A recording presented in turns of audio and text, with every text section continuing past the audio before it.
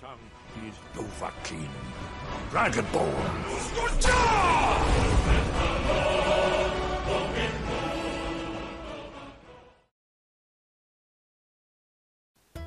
Hallo meine Lieben und schön, dass ihr wieder bei Kilians Pokémon Lexikon dabei seid. In der heutigen Folge stelle ich euch mal Brigaron vor. Und wer sich jetzt denkt, Moment mal, das hatten wir doch schon in Folge 8, der hat zwar recht, aber das war schließlich nur eins von dreien, die ich habe. Auf die allgemeinen Daten werde ich daher heute nicht mehr so genau eingehen. Ihr könnt sie im Zweifelsfall einfach nochmal ablesen. Also, zurück zum Text. Mein zweites Brigaron spielt im Gegensatz zum ersten nicht mit einer Offensivweste, wodurch es zwar anfälliger gegen spezielle Attacken wird, dafür allerdings Zugriff auf seine doch recht nützlichen Statusattacken hat.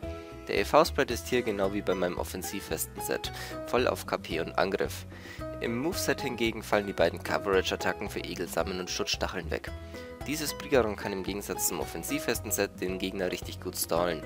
Man wirft ihn einfach in einen physischen Angreifer rein und fängt eine Attacke vom Gegner ab und pflanzt den Gegner erstmal mit Egelsamen. Wenn euer Gegner nur mit Pflanzt ist, könnt ihr einfach mal eine Runde mit Schutzstacheln ausdollen. Idealerweise greift euer Gegner mit Kontaktattacken an und kriegt damit sogar noch ein wenig Schaden durch die Schutzstacheln. Brigaron sollte jetzt durch Überreste und Egelsamen zumindest wieder so weit äh, geheilt sein, dass er eine weitere Attacke tanken kann. Jetzt könnt ihr mit Samenbomben oder Ableithieb ein wenig auf euren Gegner einprügeln.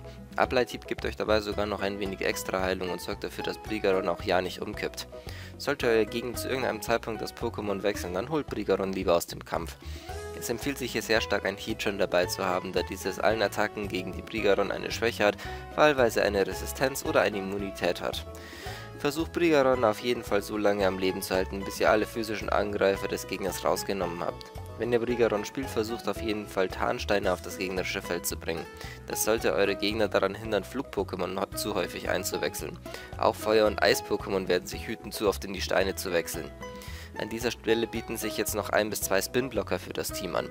Zum einen ein Geist-Pokémon, welches Turbodreher ins Leere gehen lässt, und zum anderen ein Pokémon mit Siegeswille oder Unbeugsamkeit, welches man gut in gut predictete Auflockern-Attacken werfen kann, um so einen freien Angriffs- oder Spezialangriffsboost zu bekommen. Cesurio, Milotic oder ein weibliches Psyaugon bieten sich hierfür sehr gut an. Zu guter Letzt wäre ein Cleric ebenfalls gut für das Team, damit Statusattacken euer Team nicht zu sehr verkrüppeln können. Aquana, Celebi, Chanera, Pixie oder Nachtara machen hier auf jeden Fall einen guten Job.